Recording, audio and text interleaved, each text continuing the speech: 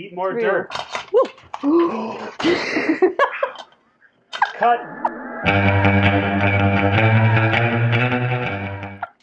What's going on back there? I don't know. Who did that? Was that you or me? It was it was me. Good. And it's the Fresh Princess. I think Not it Farmer was me. Dan. It's her kitchen. If that made sense. I don't know. Makes perfect sense. You've got, I think, a garlic chunk on Makeup. now. Take five. Return to makeup.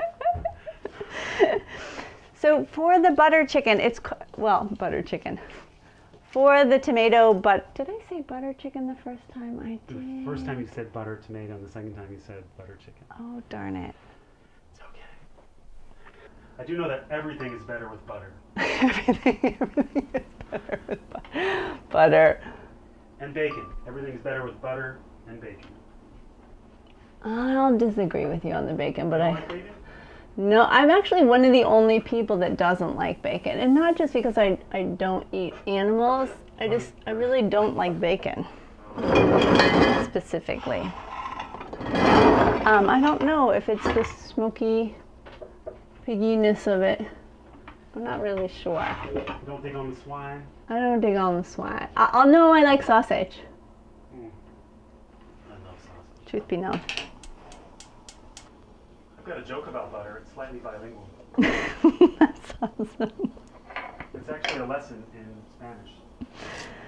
I have a butter joke as well that's bilingual. Is It's it? a lesson in French. You go first. Okay. Sopa ain't soap. Ropa ain't rope. But butter is meant to kill you. Which is how you say meant to kill you ya. say- which is how you say butter in Spanish. Mantequilla. That's awesome. I like it. So, Glenn, when we were, where were we, Glenn? We were somewhere, we were in a French speaking country. And I kept asking for butter at breakfast, and they would bring me a beer. and I'm like, and Glenn took, he took, well, it was, it was Madagascar, and he took Spanish or French for four years. And I'm like, come on, like he goes, it's burr. And so I would order like burr.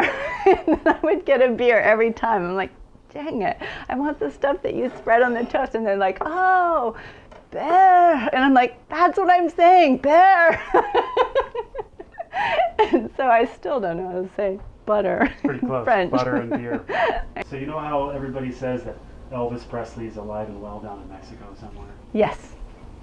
Well, Richard Dawson is. I've seen him with my own eyes. Really? Do you know who Richard Dawson is? Um, the the guy on one of those game shows? Right. Which one? Uh, Family Feud. Yes, I do know him. Right. Well, he's still alive and well down there at the soccer games, selling beer, doing the same thing he used to do on the Family Feud. You can leave those and we're going to strain them. He, he, he walks up and down the stands going, Cervezas! Did he die? I think he is still alive. No, he died. Oh, he did? Oh, Do you get that joke? yeah, You get the joke? I do. Uh, Survey says. right, he's selling beer. Oh, survey said. Yeah. we can put him over here. All right, I got room. These guys can all go in the same. Where are the grape? Grip's gone. Did you know that the grape is a berry? No, I didn't know that. It's a berry. It's a berry. As opposed to. I don't know, but I, I do know it's a berry. Because berries have seeds. What about a seedless grape? Is that still in the berry family?